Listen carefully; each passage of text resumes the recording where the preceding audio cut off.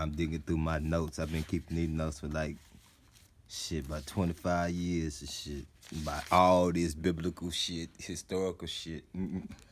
but you know, it's just you're gonna get this from the ancient Egyptian or high priest of Amun Ra, temple of Amun Ra.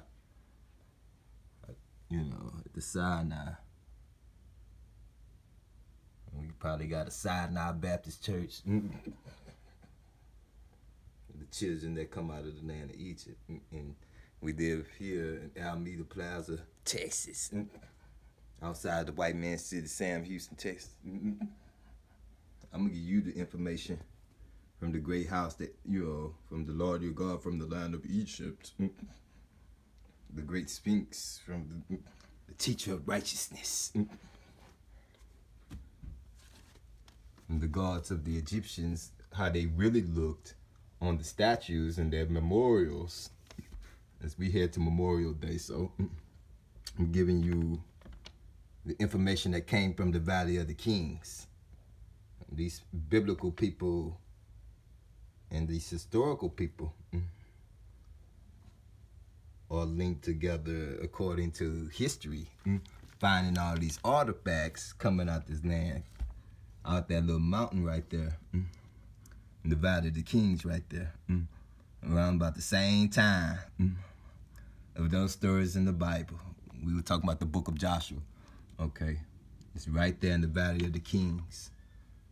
Those people that lay interred in that mountain right there, mm, you shouldn't remove their memorials mm, and take them out of their place. You should leave them where they were.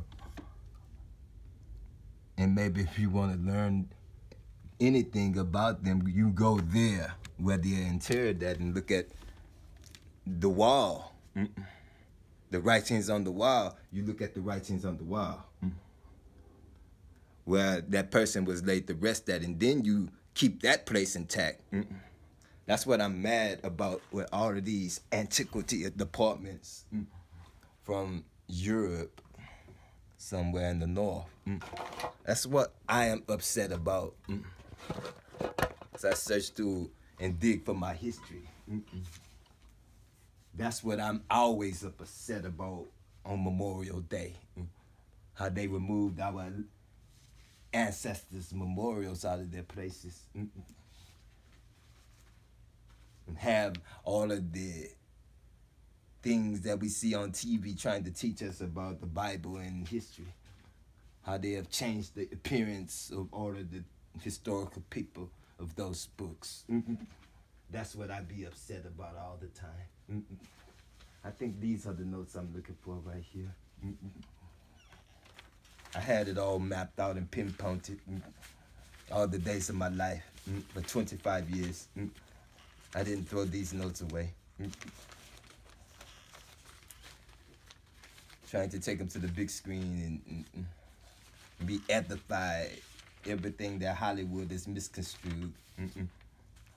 The book of Joshua in the canon has another book to it that you may didn't know exists called the Book of Jasher.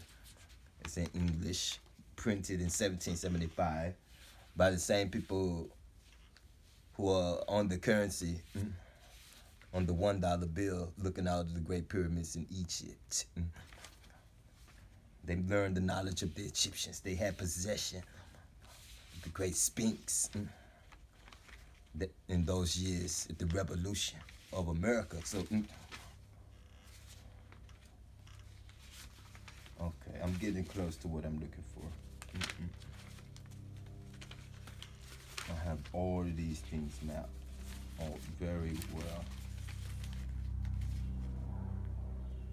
I'm gonna just read all my notes. Soon as I get to it, I'm getting close to it.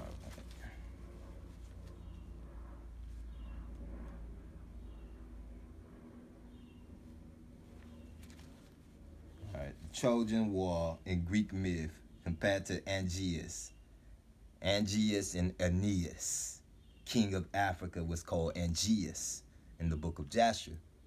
In the Greek Trojan War, they call him Aeneas. I have those years from 1769 B BC Well, their BC date is 220 years different than mine. They would say 1549 BC. I would re-edit it and say a negative 1769 E. Mm. I'm gonna give you negative numbers the way I had to chronicle these things. So to the negative 1666, 1666 E mm, for my uh, re-edited version of the same times that they chronicle in Europe, mm, which will be 1446 BC, which is they say in their re-edited version from some Germans, archaeologists I seen on the History Channel in the United States in America. They believe the date was 1446 for the Exodus. 1446 mm. BC. Mm. I say the Exodus would have been 220 years previous, 1666 E. Okay. Mm. In the second intermediate period, Dynasty 13 at Memphis. Mm. And this is what they're called in the Trojan War. Mm. At the time of the Exodus, mm.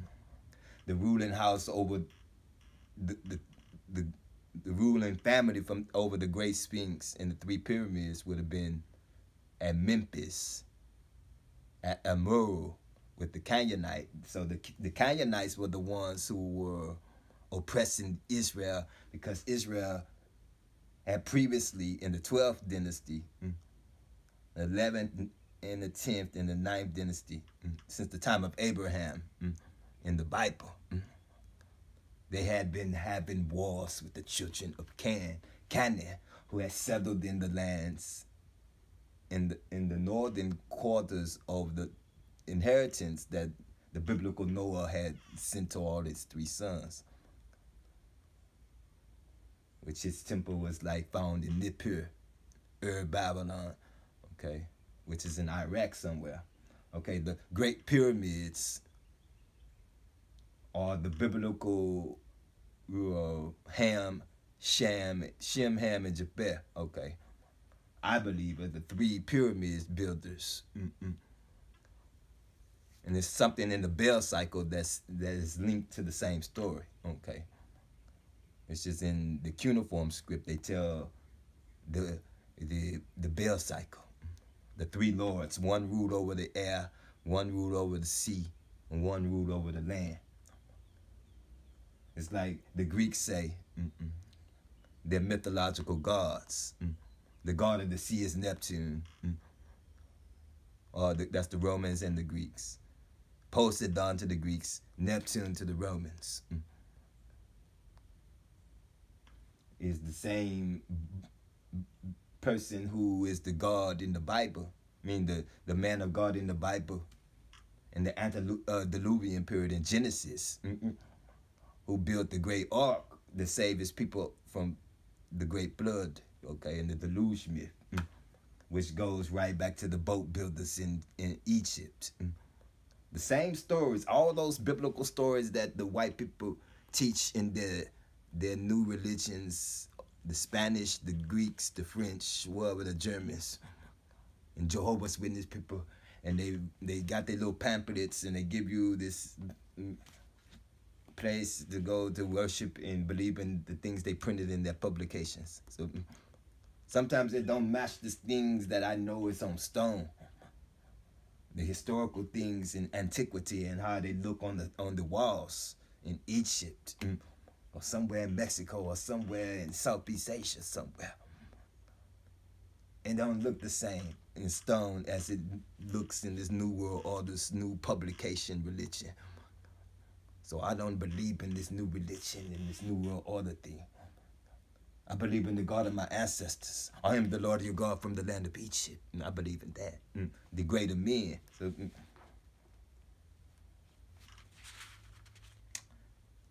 so, okay, in the book of Jasher, it's talking about Angeas and Lucas. Zepho the son of Esau, mm. biblical Esau. They have stones and statues and memorials of these people, images on stone. maybe they left a, a statue or some type of wall relief or some type of thing on a temple mm. of in the essence and the nature of that person. That's a memorial. As we head into Memorial Day. So mm, ancient memorials. Okay.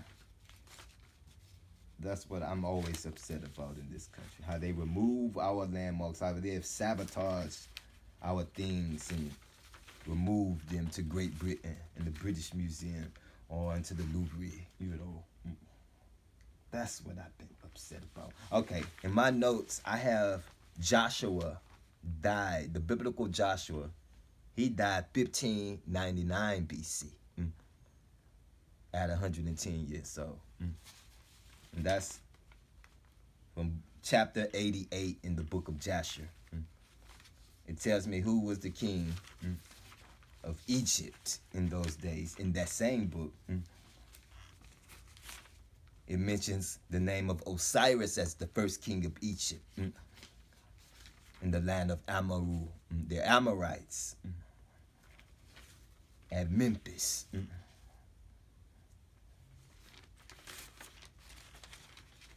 were the ones who were originally here in the lands westward past the Pillars of Hercules.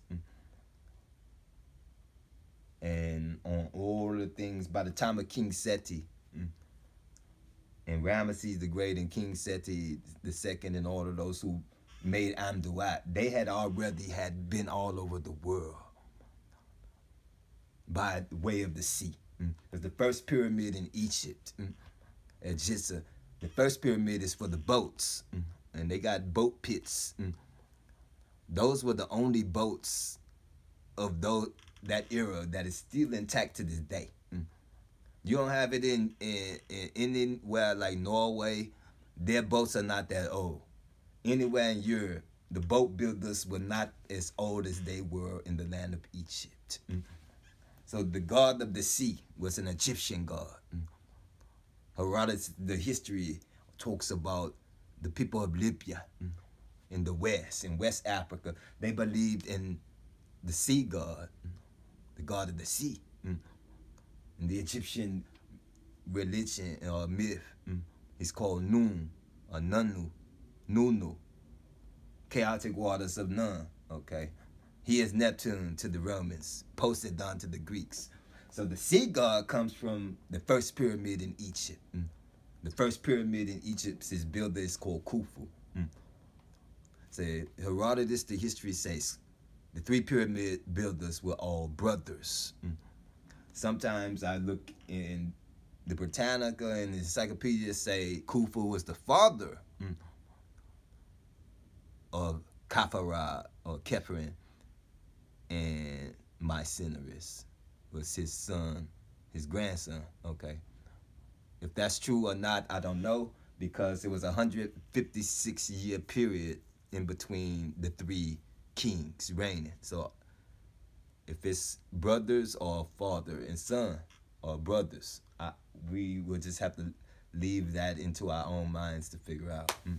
To it's totally defied as the truth what someone is saying. And I'm trying to be that one. So so my information says Joshua died 1599. They were saying in that little pamphlet I was reading, 12 hundreds, the 1208, you know, and I didn't agree. So, well, that's what I have so far. Now, Josh, I say Joshua died 1599 BC at 110 years. I'm just digging through my notes. Start talking about the book of Judges and all of those things. Let me look. Trying to get.